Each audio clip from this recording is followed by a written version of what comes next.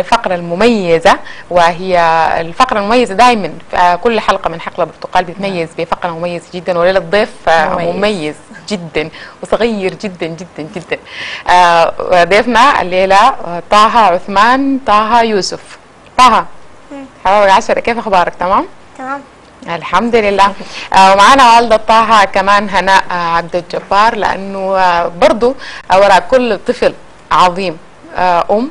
عظيمة برضو وأبو عظيم برضو. آه وإحنا بنحييك وحبابك عشرة في حقل برتقال أهلا فيكم آه طه آه أصغر آه مخرج وعملوا لنا كلوز على طه لأنه الليلة مفاجآتنا محتفلين مميز. به هو ضيفنا المميز. أصغر آه مخرج في مبادرة تدريب الأطفال على صناعة آه الفيلم الموسم الثاني. صحيح كلامي ده يا طه؟ ماشي كويس؟ وهو كتب القصة وكتب آه السيناريو. وأخرج. أنا عملت حاجة في الفيلم ولا دي كل الحاجات اللي عملتها؟ آه دي كلها. آه ما طيب ما فضل حاجة ثانية مثلت أنا بالفيلم. أخرجتها وكتبتها كتبت السيناريو. يا سلام. ده كده كل الفيلم خلاص. جميل. جميل. إحنا نشاهد الفيلم بس بعد كده. جميل. مرحبا بك مدام هناء آه، حبايبي عشرة في حقل البرتقال أهلا وسهلا. أهلا بك شكرا. واهلا بطه. آه، فعايزينك مدام هنا تكلمينا شوي عن طه وشخصية طه في البيت و- ولحد ما وصل لكتابة السيناريو والمخراج وكتابة القصة. والله هو خليك تتكلم أنت ولا أنا؟ يا طه تتكلم عن نفسك ولا؟ تتكلم ماما عليك ما مشكلة خلاص يلا ما هنا طه زي تتكلم ما عن طه وطه يتكلم عن نفسه. في البيت طه ولد مطيع ومع إنه بعد ال آه، يعني السنة دي كبر شوية كده بقى في شغب بسيط كده. لكن هو مطيع بيحب القراية شديد. وهادي أكتر من كونه مشاغب يعني هادي جدا. آه، وكان شوية كده خجول قبل فترة لكن بعد دخل آه، التدريبات بتاعت مبادرة آه، تدريب الأطفال على صناعة الفيلم مع ناس مصعب وباقي الشباب كلهم. الحمد لله شخصيته شوية بقى اجتماعي يعني مشارك مع الناس وثقته في نفسه ذاته آه، تحسنت فماشي كويس. نشاطاته. ماشي. تمام. أي ماشي كويس. تمام. كلمنا طيب عن نفسك أنت طه شايف نفسك آه، شنو يعني؟ شايف نفسك إنك زي ما ذكرت آه، الوالدة إنك أنت زول هادي وما اجتماعي. يا ده بعد ما أنت دخلت ال- المبادرة دي بقيت اجتماعي وشوية بقيت مشاغب؟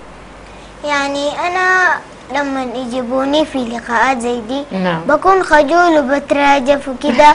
يعني لما جابوني في لقاءات كده يعني بروفا بقيت واثق في نفسي كده. أكيد بعرف آه، ما برجف آه، بعرف أتكلم كويس بدون ما أنسى وكده يعني. جميل. يعني أنت بتجهز كنت للقاء عشان أنت بتخاف قبليه لكن الليلة جاي بكل ثقه والمبادرة زادتك قوة وثقة في نفسك. طيب إيه ورينا رأيك في ماما هناء. طيب شنو؟ ما زي ما هي قالت إحنا برضو كمان يعني نشوف أنت رأيك في ماما شنو؟ نعرف أنت رأيك كيف هي برضه بتساعدني في كتابة السيناريو. نعم. لأنه أنا كنت مشارك في تحدي آخر غير صناعة الفيلم. اللي هو؟ اللي هو تحدي القراءة العربي. بقرأ فيه خمسين كتاب وبلخصهم في الجواز. جميل. فطلعت مع الكتابة الكتابة والسيناريو. كثيرة بقت عليك. كثيرة بقت شديد فماما كتبت معاي شوية من السيناريو وساعدتني في كتابته. آه فبقيت أهتم في الإخراج اللي. ساعدك منه في الإخراج. في الإخراج آه مصعب حسون. يا سلام. تحية له كثير مصعب حسونة هو صاحب آه، فكرة وكل ال- فكرة المبادرة بتاع تدريب الأطفال هو القايم بالحاجات دي كلها كتر خيره كمان مصعب شديد يعني عم- عمل منهم بجد آه، شخصيات ناس كبار يعني كده طفل مع طه يعني هم طه بس كلهم كان؟ 24 أها، هم جميل. 24 طفل أطفال سودانيين في أعمار أطفال متفاوتة ولا ثمانية سودانيين من زي؟ 8 سنين لغاية عمر 16 سنة هم. جميل جدا آه. آه طه من الناس الصغار يعني هو أصغر. أصغر واحد أي مع مصعب آه ذكر طه المبادرة بتاعت آه ال- القراءة عشان للناس اللي ما عندهم عندهم فكره عن ال- المبادرة هي المبادرة من ال- الشيخ محمد بن راشد المكتوم اللي هي نائب رئيس دولة أيوة. الامارات العربية المتحدة آه، وحاكم آه، مدينة آه، دبي. فكان بين آه، 13 دولة الرابعة كانت الإمارات طبعا صاحبة ال- المبادرة. دول كثيرة كانت مصر آه، السعودية أيوة. والإمارات وتونس والجزائر المشاركة في التحدي. يعني ومصر و- حتى في برا في أوروبا. في عندهم تصفيات في. لندن في عندهم تصفيات يعني كثيرة. يعني ما بس الدول العربية كل العرب. من مختلف الدول اللي قدروا يشاركوا. وكان نفسه بس قال يهدف إلى إنه مليون طفل. هنا شاركوا أكثر من 38 ألف طفل عربي. كمية كان كبيرة. آه، شيء يعني جميل شاركوا انه العدد يكون التحدي ده، يعني فكان- القراءة. فبرضه أيوة. في تحدي القراءة أنا عارفة إنك أنت الأكثر واحد جبت على المدرسة صح؟ ده أنا مش شفتها على في المدرسة. التلفزيون فحبيت أشارك فيها. فسألت ماما التحدي ده فيها مدرسة فقالت لي في كل المدارس قلت لها طيب ما اكلم مدرستنا عشان نشارك فيه ونستفيد منه حاجات وحببت كثيرة الطلبة في القراية. يلا أو- أول ما أنت في البيت قررت أنت وماما هنا إنه تكلموا المدرسة. ماما هنا مشت معاك ولا أنت براك؟ أنا مشيت؟ مشيت معاها. ماما هنا مشت كلمت الإدارة أنا كلمت الأستاذ. فالأستاذ حياني لأن أنا جبت القراية وكذا يعني. أنت جبت دخلت موضوع القرايه ده للمدرسة. طيب ال- الطلبة معك في المدرسة يعني أنت نظرتهم بقت ليك شنو؟ يعني بقيت أنت شخص مميز طبعا بقيت في المدرسة وكده. ورينا كيف بقيت بعد كده من طه الخجول ال- والبخجل والمسكين وبعد كده بقيت عندك أصحاب والناس طبعا بقيت ستار يعني ونجم آه، سينمائي كبير. كيف بقيت تتعامل مع الناس؟ بغرور كده بقيت لأنك بقيت زول نجم كبير ومشهور ولا بتتعامل معاهم عادي؟ بتعامل معاهم عادي بكلمهم برضو بهدفهم لي عشان يقروا لأنه القراية بتفيد الإنسان كتير. آه فكل الفصل حبا المبادرة دي وقام شارك فيها. فأنا فحياني قالوا لي أنا عايزة أسألك شكراً سؤال. أنت قريت كم كتاب؟ أنا أكثر من خمسين. ما شاء الله. 50 دول حقين المبادرة. إيه. هل مش حقين المبادرة عفوا حقين ال- ال- القراءة بتاعت التحدي. آه، هل بيحددوا لك 50 كتاب في كذا ولا ولا أنت براك بتختار الكتب على حسب مزاجك أنت عايز تقرأ شنو؟ ورينا النوعية شنو كانت بتاعت الكتب فصلها لنا أنا بنوع الكتب هم ما بيقولوا لي اشتري الكتاب آه، أختار الفلاني. الكتاب ده وما تختار ده. نعم. أنا ما بختار على رأيي بعدين بقول الكتاب ده حلو بقرأه وبلخصه كيف. آه فبيكون الكتاب حلو. زي شنو يا ورينا يعني الحاجات اللي انت بتحب الأكشن بتحب الحاجات الاجتماعية الحزينة ال- النهايات السعيدة. يلا ورينا أنواع الكتب أنا عشان في آه أنواع الكتب أكتر شيء أنا بحب العلوم. زي صغار الحيوانات بعرف كيف الحيوانات بتولد بتخد عشها كيف بتبني بيتها كيف بتعمل حاجاتها كيف عشان آه تعمل الأكل آه لأولادها وكده يعني. طيب مع أنت بتختار الكتب ال- العلمية اللي فيها العلوم وفيها الحيوانات والنباتات وحاجات زي دي. طيب في المدرسة الحاجات القريبة للكتب اللي أنت بتختارها دي أي مادة أنت من رايك أنا الرياضيات. هو طبعا بيحب مادة مختلفة خالص يعني. في رياضيات بس. الرياضيات. أيوه. خمنت كده. الرياضيات وبيحب الرياضيات جدا. وعنده دفتر جميل بتاع رياضيات وما له علاقة نهائي بال- بالحاجة اللي هو هسه متفوق فيها في. الرياضيات، مختلف أيوه تماماً أيوه. بيحب مادة. الرياضيات. يعني بيحب القراءة مش مش مادة اللغة العربية. القراءة كقراءة كاطلاع يعني. لكن بيحب مادة الرياضيات في المدرسة مدام هنان عايزة أعرف آه، أنت الأساسيات اللي في البيت اللي ماشية بيها كيف معهم؟ آه، ودي الحاجة زعلته مني قبل شوية لما كان ملاذ بتتونس معاه وقالت له يلا أنت في ال Xbox وال social media وال net والحاجات وال PlayStation نعم. فجأة قال لي يا ماما أنت ما بتحبيني شديد ليه؟ قلت له ليه؟ قال لي لأنه أنت ما بتجيبي لنا PlayStation ولا آه، هنا إيه. فأنا حتة بتاعت PlayStation وال electronic games دي كلها ما, ما في في البيت خالص ما في أصلا. التلفزيون في الغرفة اتلغى من بدري في الصالون بيمشي ولا- نو ولا؟ يعني حتى في الإجازة بيمشي عندهم ساعة ساعتين كده خلاص كفاية حتى جدا. برامج ذاتها بتكون مختارة يعني. والله هم أنا يعني هي برامج أطفال قنوات أطفال بخليهم يحضروها. غير كده بقول لها تلعب ساعة كورة في الشارع أحسن من تقعد في ال... عمل ال- حركة ال- يعني، أيوة والفيديو حركة. games دي وهو عنده مشكلة في النظر شوية كده فبخاف عليه برضه جميل فحلو فهل كلام ماما كونها. انها هي خايفه على نظرك و... آه، فهل هو عدم محبة ولا أنت ن- وجهه نظرك شنو؟ أنا قبل في الشمس بي ما بتخليني لما عيوني يبقوا حمر وكده يعني طوالي مش بتجيب من ماما.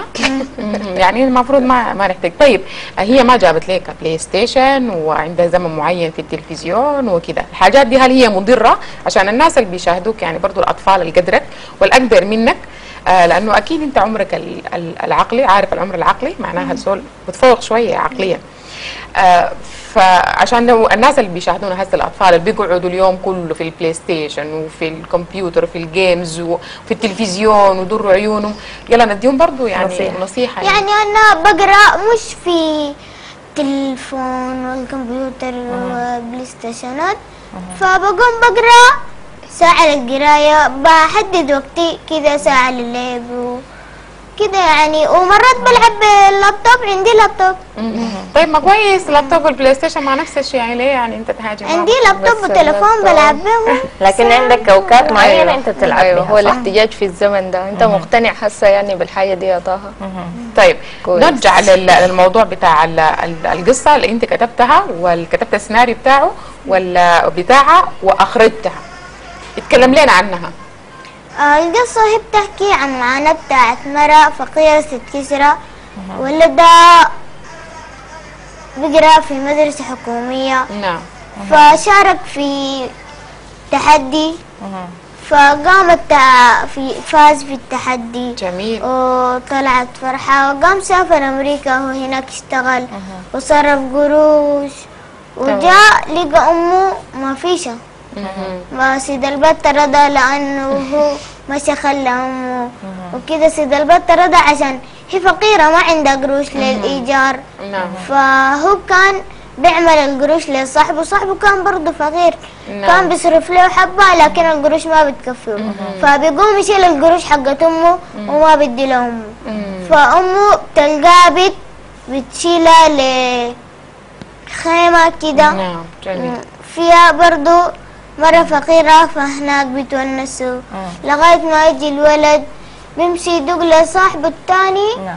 بيقول له أمي ما بيقول له أمي وين؟ أمي ما فيش في البيت. بيقول له أمك دي ما فيش من زمان. بيقول بعدين بيقوم بيصرخ أمي وين؟ بعدين بيمشي لعلي اللي هو سرق القروش. بي- فبي فبيلقاه طقشته عربية. فبيصرخ أمي وين؟ أمي وين فهو بيكون شايل صورتها يا حبيبي. فبيلقى البيت اللي ودتها للخيمة. نعم. فبتوديه لأمه وبتحصل فرح بيبقى مقدار للمسلمين. تمام. جميل. أنا برضه طه عايزه أسألك لقدام للمستقبل عايز تكون شنو أو عايز تعمل شنو؟ أنا أكتر شيء بحب أكون كاتب. لأنه أنا مرات بكتب قصص من راسي. كده يعني واحدة قصة بسمعها. بختار قصة زيها لكن ما هي. بتغير فيها يعني. آه. انت. طيب إنت بتقرأ يعني هو الزمن داهمنا فعلا يا زمننا لكن إحنا عايزين نسألك سؤال مهم شديد. بتقرأ قصص بتاعت كبار ولا بس بتهتم بالقصص بتاعت الأطفال؟ آه بقرأ كبار برضو. حقت ماما بشيلهم بقراهم. آه لما أقرأ كل الكتب بمل منهم بعدين بشيل بشوف كتاب تاني.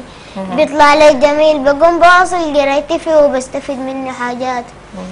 بقرأ كبار. إحنا بقينا نقفل الكتب بعض الكتب كده في الدولاب. طبعاً. ونشيله للمكتبة في الدولاب. يلا بالمناسبة دي بمناسبه انك بتتحكمي في الحاجات اللي هو بيقراها وبيشاهدها وفي وقته في القراية وكده. عايزين نقدم روشته أو نصيحة آه للأمهات يعني عشان طه عباره عن موهبة. المفروض يتعامل معها تعامل خاص. لكن نشوف ال- عامه يعني تنصح الامهات بايش وأنا ما عندي واحد تاني طبعا أصغر من طه كده متمرد نوعا ما. يعني لكن هسه الحمد لله يعني ماشي كويس. أول حاجة هو لو الطفل ما بيحب القراية ما في حاجة بتجي بالقوة. نعم. يعني أنت قدامه لما تجيبي كتاب تقري بيتعود إنه ماما دي في شنو؟ شايلة كتاب بتاعين تقروا قصة قبل النوم تجيبي يعني بدل. أنت تحكي له قصة من راسك ممكن تجيبي كتاب مصور قبل النوم. تعالي يا بابا نعمل كده نشوف وده ليه وده يعني كده. حتى أنا طه في الأول الكتب العلمية كانت دسمة شوية وهم مطلوب منهم في تحدي القراءة تنويع للكتب.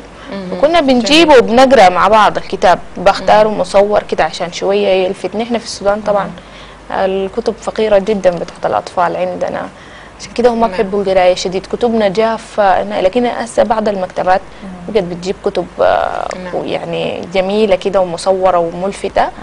فالأطفال بيحبوها. أنت شوفي ولدك بيحب أي نوع من القصص؟ نعم.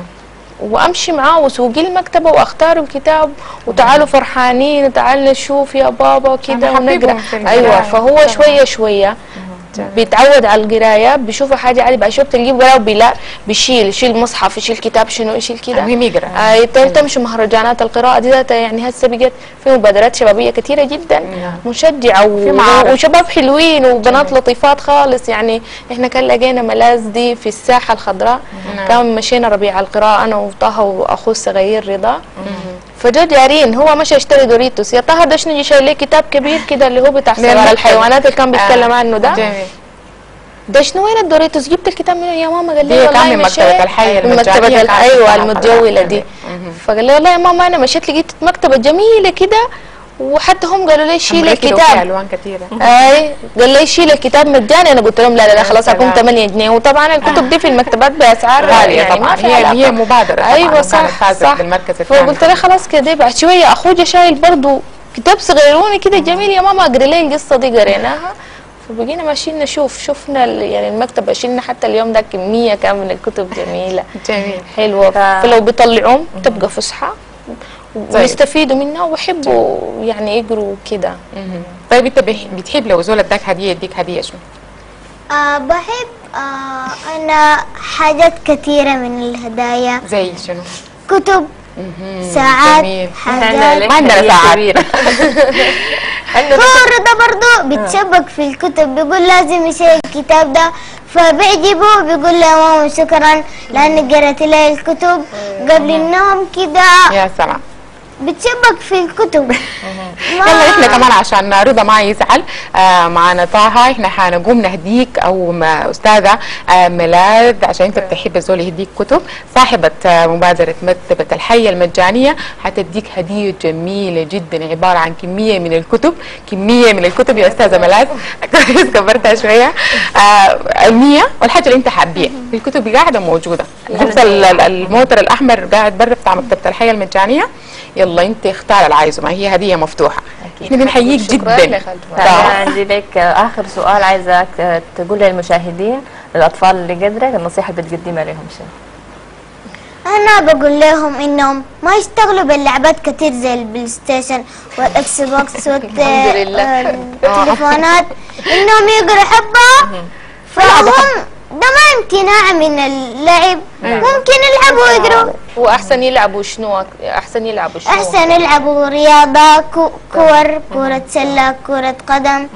حاجات يعني بتفيدهم زي الرياضة. هي أنواع كثيرة الرياضة فبتقويهم وبيستفيدوا منها للجسم كده يعني. إحنا بنشكر الضيف آه، ضيفنا طه عثمان طه يوسف آه، أصغر آه، مخرج آه، في مبادرة تدريب الأطفال آه، في صناعة آه، الفيلم في الموسم الثاني وبرضه مشترك آه، في مبادرة آه، القراءة آه، اللي هي كانت آه، في آه، أو آه، برعايه من صاحب السمو محمد راشد المكتوم. بنشكر آه، والدة آه، طه ومدام هناء عبد الجبار.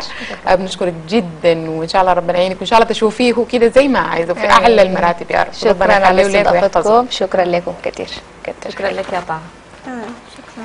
آه، شكرا. عزيز زي ما شفنا ضيفنا مميز جدا وفقرتنا الأخيرة كانت جدا مميزة. ف- ودي كانت هديتنا اللي كل مرة بنهديها للمشاهدين في حقل البرتقال. آه، شكرا لكم على حسن المتابعة. شكرا آه، فاطمة ولحد ما نتلاقى الأسبوع الجاي مع فريق عمل آخر من برنامج حقل البرتقال. نخليكم